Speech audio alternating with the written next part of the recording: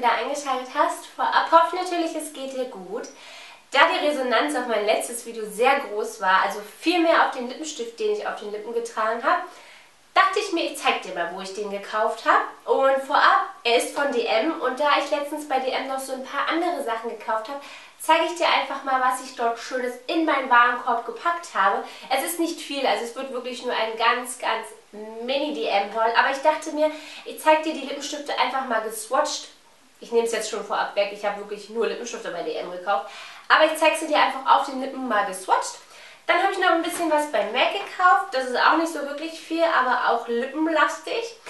Dann war ich noch bei Deichmann und dann noch bei H&M und ich zeige dir einfach alles in einem Video, weil ich dachte, es bietet sich an.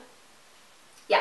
Und heute trage ich MAC Ruby Woo. Den habe ich mir nicht gekauft, also nicht vor äh, einiger Zeit. Der ist schon ein bisschen älter in meinem Repertoire.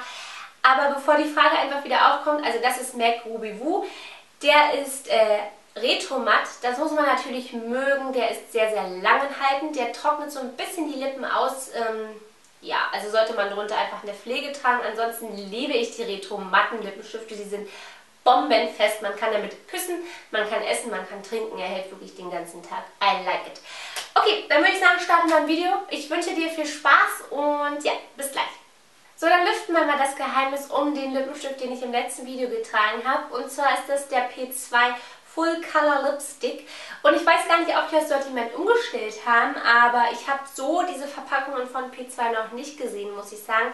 Ich habe jetzt auch nicht unbedingt viele Lippenstifte von P2. Ich glaube, das ist jetzt mein zweiter oder dritter, also überschaubare Menge. Ich bin aber in den DM gegangen, einfach um ein paar herbstliche Farben zu haben. Muss natürlich immer ein bisschen aufpassen, ob mir das steht mit meinen Haaren. Ich kann jetzt nicht unbedingt im Frühling oder im Sommer einen knalliges Orange tragen oder so. Ein Pink ist auch immer schwierig. Bei den bärigen Tönen wird es ein bisschen einfacher und deswegen habe ich mich auch für diese Farbe entschieden und das ist die 060 Whisper Me Wishes. Ich muss sagen, die P2 Lippenstifte lassen sich super auftragen. Sie haben ein tolles Finish. Die sind jetzt so ein bisschen glossy, also nicht unbedingt matt. Was man natürlich mögen muss. Ich mag eigentlich eher die matten Lippenstifte was man heute auch sieht. MAC hat tolle Lippenstifte, die sind natürlich um einiges teurer. Aber ich finde, für diesen Preis, für 1 Euro noch was, kann man da nichts falsch machen. Also 060 Whisper Me Wishes war der Lippenstift, den ich im letzten Video getragen habe. Dann habe ich mir noch einen anderen Lippenstift aus der P2-Reihe gekauft und das ist die 100 Country Greatness und das ist eher ein nudefarbener Lippenstift. Nicht unbedingt Totnude, was ich jetzt nicht ganz so mag, muss ich sagen. Also ich mag auch nicht diese Make-up-Lippe, wo man wirklich gar keine Lippenfarbe mehr durchschimmern sieht. Ich mag es dann doch eher ein bisschen bräunlicher, so wie dieser Ton. Was natürlich jetzt schon arg dunkel ist als Nude-Lippenstift, aber ähm, ja, für den Herbst finde ich es sehr, sehr an angemessen und passend. Da kann man damit nichts falsch machen. Ist jetzt auch nicht unbedingt matt, hat ein tolles Finish ob er jetzt lange hält, weiß ich nicht. Ich habe ihn noch nicht so wirklich oft getragen. Ich probiere ihn aus, finde ihn aber sehr schön. Ich finde, das Spektrum der P2 Lipstifte ist sehr, sehr groß und ich glaube, da findet ähm, wirklich jeder was. Dann musste natürlich auch ich einmal in die Trended Apotheke schauen, die ja quasi neu ist bei DM und überall auf YouTube und auf Instagram gehypt wird. Und da habe ich mich für einen Lip Liner entschieden, das ist die 030. Der ist ein bisschen rosastichig, ähnelt so ein wenig einem Rose Gold. Finde ich sehr schön, habe ich mir eigentlich nur gekauft, weil ich einen passenden Lippenstift dazu gekauft habe von MAC. Wollte jetzt nur nicht unbedingt in einen teuren Lip Liner investieren. Deswegen habe ich mich bei DM ein wenig umgeschaut und habe mich für diesen entschieden, 0,30. Finde ich sehr schön, dass da hinten auch so ein bisschen ein Einspitzer dran ist. Dann haben mich noch zwei matte Lippenstifte angelacht. Und zwar einmal habe ich mir gekauft die 090. Die haben keine Namen, nur Zahlen. Und das ist ebenfalls ein sehr bäriger Ton, sehr herbstlastig, bisschen dunkler, als man es vielleicht von mir ähm, vermuten mag. Aber wie gesagt, ich bin halt äh, unter den Aspekt zur DM reingegangen, dass ich wirklich bloß Lippenstifte haben wollte, einfach für den Herbst. Ich finde es schön. Es kleidet eigentlich so gut wie jeder Frau und deswegen habe ich mich so ein bisschen umgeschaut. Man muss jetzt nicht unbedingt immer MAC-Lippenstifte nehmen, die sind teuer, die sind natürlich auch toll, aber es gibt auch preiswerte Alternativen im Drogeriemarkt.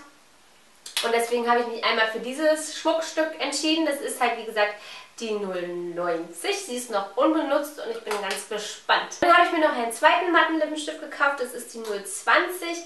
Der ist nicht ganz so knallig wie der Ton gerade eben, aber auch nicht ganz so nudig wie der Lippenstift von vorhin. Aber es ist so ein Zwischending. Ich glaube doch, dass er alltagstauglich ist. Wir werden sehen. Dann kommen wir mal zu dem MAC Haul. Da habe ich auch nicht wirklich viel gekauft. Einmal eine Foundation, das ist die Studio Fix Fluid Foundation, weil ich mir einfach dachte, für den Herbst, was ähm, nicht ganz so stark deckend ist, aber schon ein bisschen ein mattierendes Make-up. Mit der Studio Fix Fluid komme ich immer super klar. Ich mochte die sehr gern, habe die jetzt lange nicht benutzt, gerade so für den Sommer fand ich es überflüssig. Aber für den Herbst, für den Winter finde ich es ganz praktisch. Dieses, äh, diesen Pumpapplikator habe ich noch, den muss ich einfach nur ein bisschen auswaschen, weil da jetzt eine andere Nuance drin klebt quasi. Und ähm, ja, ich habe die Farbe NC37, falls ihn einer anderen interessiert. Dann habe ich mir noch einen Concealer gekauft. Das ist der Prolongwear Concealer, von dem schwärme ich wirklich schon seit Jahren. Den mag ich sehr gerne. Der ist wirklich super langanhaltend. Er deckt toll ab. Er kriegt bei mir nicht in die Fältchen. Und ich liebe diesen Concealer wirklich über alles. Der ist sehr teuer. Deswegen benutze ich ihn eigentlich wirklich nur für besondere Anlässe. Also wenn ich wirklich ein perfektes Hautbild haben möchte, dann benutze ich ihn ansonsten im Alltag nicht. Ich habe die Farbe NW25. Dann habe ich mir zwei MAC Lippenstifte gekauft und deswegen bin ich eigentlich nur in den MAC Store gegangen. Eigentlich wollte ich eher einen herbstlichen Ton haben, ähm, habe ich jetzt nicht genommen. Ich zeige euch gleich, welche zwei ich genommen habe. Ich muss sagen, die Auswahl bei MAC ist einfach immer viel zu groß und man wird da eigentlich immer völlig erschlagen von den Lippenstiften. Ich muss sagen, ich bin nicht immer ganz so begeistert von der Beratung, gerade so bei uns in Potsdam, da sind die nicht ähm, sehr freundlich, aber vielleicht sind sie es einfach nur nicht bei mir. Ist egal, ich habe mir zwei Lippenstifte ausgesucht und da habe ich mich einmal für MAC Twig entschieden. Hat ein Satin Finish, also wie der Name schon sagt, der ist ähm, nicht matt, eher so ein bisschen schimmernd. Was ich schön finde, ich habe davon schon mehrere Lippenstifte zu Hause. Ich finde, das ist ein sehr schönes Finish und auch sehr alltagstauglich. Also da muss man sich auch keine Gedanken machen, dass man so ein bisschen overdressed ist. Dann habe ich mir noch MAC Brave gekauft und ich glaube, diesen Lippenstift, den vergötter ich schon sehr lange. Den wollte ich wirklich lange haben und deswegen habe ich mir diesen Lip Liner auch gekauft, weil ich dachte, es könnte miteinander sehr gut harmonieren. Und MAC Brave ist auch ein Satin Finish und ähm, diesen Lippenstift habe ich ganz oft bei Instagram und auch bei Facebook gesehen und deswegen wollte ich ihn unbedingt haben. Ich habe noch so ein paar andere Lippenstifte auf meiner Liste, die ich gerne haben möchte. Ich finde Trick schön, ich finde Meer schön. Ähm, Stone ist ein schöner Lippenstift, gerade so für den Herbst. Also ähm, ja, wenn man einmal MAC süchtig ist, dann wird man es immer sein. Es hat sehr, sehr schöne Farben und die äh, Bandbreite ist einfach so riesig, da ähm, findet ebenfalls jede Frau was. Aber wie gesagt, äh, wenn euch die MAC-Lippenstifte einfach viel zu teuer sind, es gibt in der Drogerie sehr schöne Produkte. Also wirklich. Es muss nicht jeder so verrückt sein und äh, 19 oder 20 Euro für MAC-Lippenstifte ausgeben. Dann zeige ich euch noch schnell, was ich bei H&M gekauft habe. Und eigentlich wollte ich bei H&M Rollkragenpullis haben, wenn ihr wisst, wo es Rollkragenpullover derzeit gibt. Also ich möchte nicht diese dicken Dinger, sondern so ein dünner Stoff, so wie dieses Oberteil, was ich jetzt trage, aber als Rollkragenpulli und auch nicht Crop Top, also dass quasi der halbe Bauch rausguckt. Das ist für mich auch kein, kein Rollkragenpulli. Müsst ihr mir unbedingt reinschreiben, wo es sowas gibt. Also dünn Rollkragenpulli, aber trotzdem den Bauch bedeckt. Jedenfalls habe ich das nicht gekriegt, da war ich ein bisschen... Ähm, traurig. Habe ich mir andere Sachen gekauft. Ich habe mir einmal ein Beanie gekauft in schwarz, stinknormal. Wenn man offene Haare hat, eine Jeansjacke oder äh, eine Lederjacke an, raufgesetzt und ähm, dann finde ich das cool. Ich hatte irgendwo mal ein Beanie, finde es aber nicht mehr. Der hat 9,99 Euro gekostet. Und dann habe ich mir stattdessen zwei Basic Rocks gekauft. Einmal in äh, schwarz-weiß gestreift und Einmal in so einem grauen Ton, einfach mit einer stinknormalen Strumpfhose, Boots und äh, Lederjacke oder so, kommt das ganz cool, mag ich ganz gern. Wenn es noch nicht so kalt ist, wenn es so 19 Grad sind, aber Sonne scheint, finde ich es mega cool. Deswegen habe ich mir zwei Röcke gekauft. Die sind Größe S, fallen ein bisschen größer aus. Ähm, ja, mal schauen. Aber dann zeige ich euch noch, was ich bei äh, Deichmann gekauft habe. Und da habe ich mir nämlich ein paar Boots gekauft.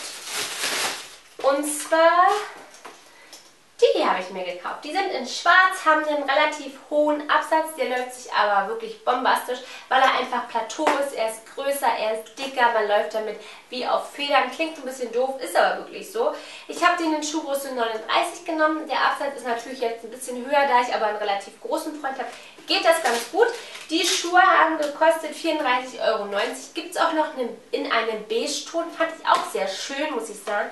Da ich aber schon einen Beige-Ton habe, fand ich es schwachsinnig, nochmal einzukaufen. In Schwarz habe ich noch keine, deswegen habe ich mich für die entschieden. Also eigentlich perfekt für den Herbst.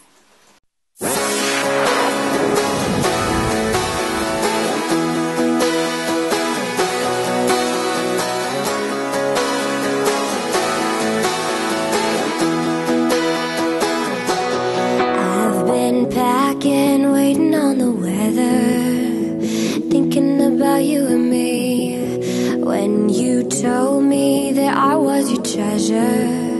I knew we could do anything. Don't tell a single soul. We'll catch a train and